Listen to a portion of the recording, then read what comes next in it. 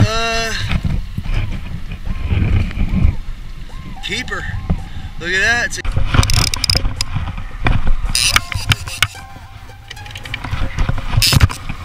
Okay, so we got about 15 minutes in today.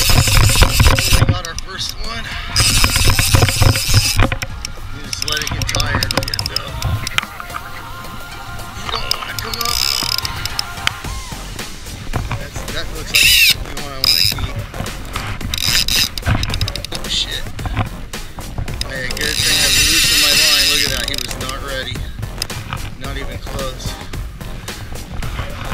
It's important. Lay your net down. Get it in there before you bring him up. He sees that uh, coming at him. It's going to spook him. Just like this. Pull him in. Lift up just like that.